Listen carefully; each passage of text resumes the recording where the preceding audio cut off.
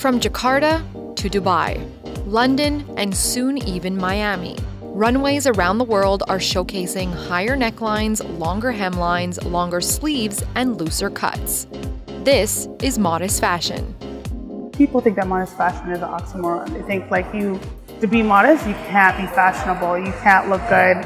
They have this whole stigma behind it as if we're like pilgrims that just came the, the clothing, it's not, it doesn't look good, but there's a way to have both. The style is designed for women wanting to dress fashionably without showing too much skin, based on the requirements of their faith, personal comfort, and choice. The industry was created by consumers who weren't getting what they needed from the retail market. So we know the classic short bomber jacket. This one has a twist because it's it's fully long, so obviously it covers a bit more and is a bit more modest in that way. That's the owner of online boutique Nacy. Nacy was born because I found that it was difficult to find modest clothing for every day. It's easy to find uh, abayas or wedding dresses or places to attend occasional wear or for occasional wear. But I found that it was a bit difficult to go to school, to go to work, or just go brunching with your friends. A relatable story for many of these emerging modest fashion brands at Toronto's sixth annual International Modest Fashion Design Festival one of the very first events to put a spotlight on the growing demand for conservative fashion. When we first started, there wasn't any focus on modest fashion. There was nothing for sisters around. Everybody, was there was, you know, sexualized.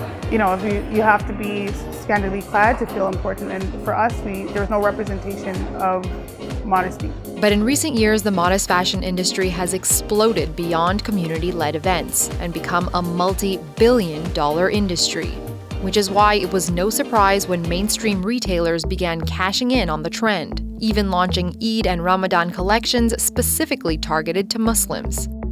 So the growth of this industry is really credited by the sheer uh, number population of Muslims around the world. Uh, there are 1.8 billion Muslims around the world, and a billion of them, a billion, are under the age of 30.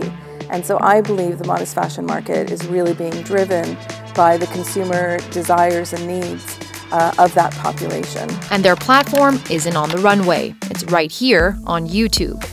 Hey guys, welcome back to my channel. My name is Daniela. I'm a beauty and fashion blogger, and I love blogging primarily about modest fashion.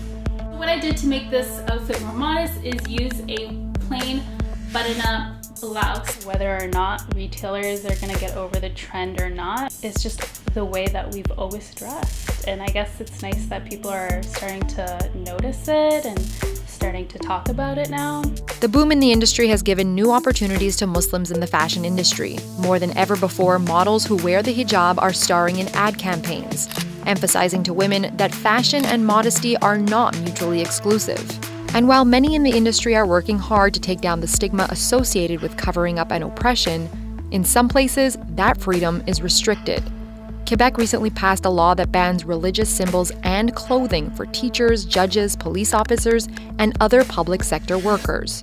You know, to hear Quebec set us back when we were going so far, to know Canada is such a diverse country that you know, it, it, welcomes everybody. That's how we were founded here in Canada. Everybody came as immigrants. Everybody came and built Canada. So to see now the discrimination to say you are not Canadian or you don't look a certain way, it's really sad to see. But this female-led industry isn't going anywhere. Thanks for watching Global News. If you enjoyed what you saw, like the video. You can also hit the subscribe button for all the latest international news and trending videos.